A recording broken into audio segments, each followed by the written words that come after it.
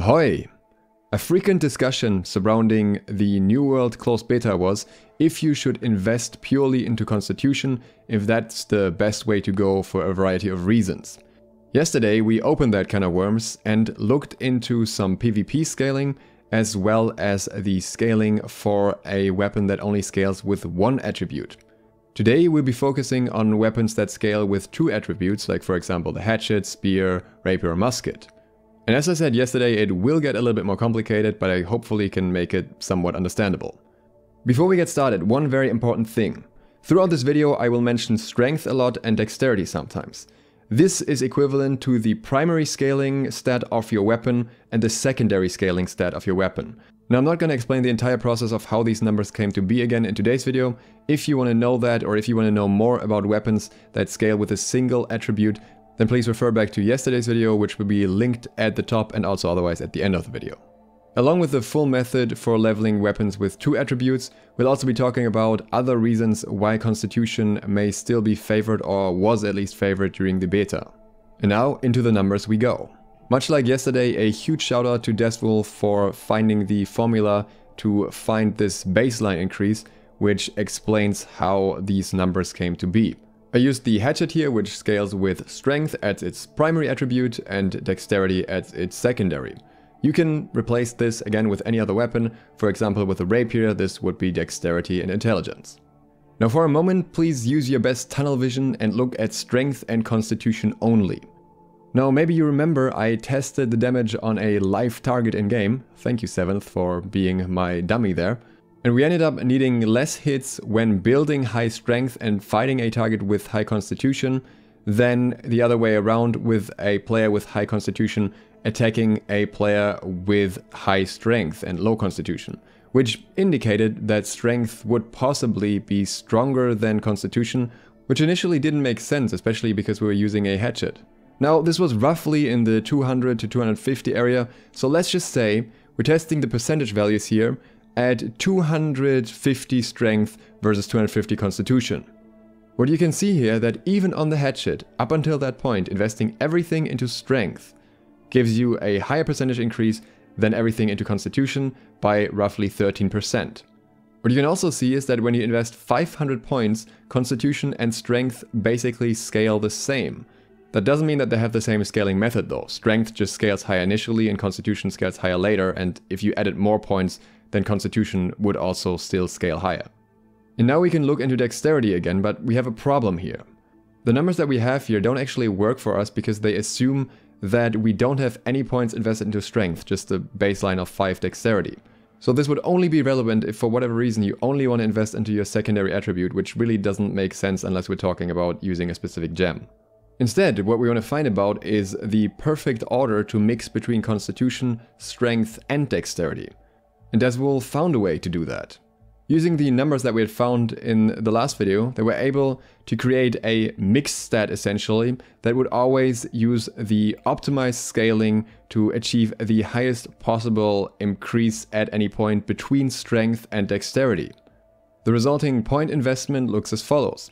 You begin by investing 100 points into your primary damaging attribute, in this case strength. Then you put 100 points into constitution. Then you put another 50 points into strength and another 50 points into constitution. So we're at 150 points each and no points in dexterity. Now you invest 50 points into constitution again, so you're at 200, and 50 points into dexterity. Then 50 points into constitution again, and 50 points into dexterity again. This puts you at 250 points in constitution, 150 points in strength, and 100 points in dexterity then another 50 points into constitution, and another 50 into strength. So now you'd be at 300, 200 and 100 points respectively. At this point you could go on and invest more points into constitution for maximum efficiency, but realistically you're going to look for the higher tier perks from strength and dexterity instead, because the increased difference is not that major once again. You can see all the hypothetical points here, but I would not recommend following them beyond 300 points at all. What you can also see here is the total scaling for the damage is once again the same as it is for using a weapon that only uses one attribute, so it adds up to the same amount in the end. So what we find in general is that the overall distribution somewhat resembles a 50-50 split, excluding the fact that you have to split between dexterity and strength to some degree. But there is still a problem, and that is using multiple weapons that scale differently.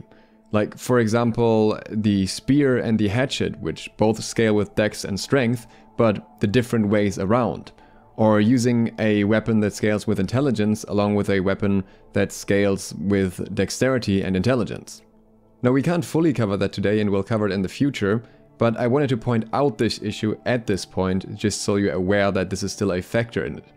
In this context we also need to look at intelligence and focus gems, which are a different beast altogether. That video will be coming very soon, so please consider subscribing and clicking the bell if you want to learn about that. And that's not the only factor playing in here either, because you have other things that can contribute, like for example, somebody only wearing light armor and having a 20% damage increase, which sometimes is a little bit offset with certain other perks. And then you could have the other player, for example, have some damage mitigation on their equipment. So there are still a lot more factors beyond this that can ultimately affect the outcome. But still, between the numbers that we found yesterday and today, you may be wondering, if strength was actually pretty good all along, or if the primary attributes were good all along, and the secondary were too, and constitution was too, why was the focus so heavily on constitution? And I have a few explanations for that. Now the first one is for Hatchet users specifically, but Hatchet was very popular in the beta because of the relatively easy and quick leveling, and that is that Berserk scaled with your health percentage-wise, it seems. Therefore, the effective health return on that was massive, and I'm honestly kind of expecting that they will change that to a flat healing. On that note, by the way, Dezvul had the interesting thought that it can technically be a bit better to go a little bit more into damage and less into constitution, because you're getting flat healing from health potions. So if you're in a scenario where you're using health potions, then you effectively get a little bit more in a trade. But that's a niche thought, especially if we're looking at it from a, for example, duel perspective, where you usually don't use potions. Another factor for Constitution being so valued were the very strong attribute perks. The 250 Constitution perk especially, which decreased your damage taken on the initial hit when you have full health by 80%, was insanely strong in PvE, but also in PvP as long as you had a healer, because you would often just get very frequent reductions. Also, the 150 points perk was bugged, giving you permanent 10% damage reduction. I demonstrated that in this video, if you haven't seen that yet. What's more, Constitution has super high scaling on low levels. I'm not actually 100% sure how this works in PvP just yet, we couldn't really figure that out during the beta, so that'll have to wait, or maybe it's fixed by the time uh, we get to launch. But this is something worth keeping in mind that for lower level players, the impact of Constitution may have felt much different from the way it feels if you're specking into it on level 60, and since all the comparisons were on level 60, that is something worth keeping in mind. What's also very nice is that it allows you to switch between different weapons without having to respec for them, and that was especially something that people wanted to do in the beta. They wanted to try out different things. As long as you have Constitution, everything will deal relatively low damage, but you still have a ton of health. Otherwise, you have to respec every time you switch between weapons depending on what attribute they scale with. Also, just one combatant specking into it leads to a more drawn out fight. And this can be beneficial, especially when you're a newer player, because it allows for more ability rotations. And I think a lot of players, when they're starting out, rely a lot on their abilities, and obviously sometimes they will miss them. So it's nice for them to get a second chance to use them in a fight and maybe get something out of them. This is obviously also true for the enemy, but it generally it gives you more room for error and more room for practice as well. Especially when playing wars, it was also almost impossible to not at least spec a little bit into Constitution anyways.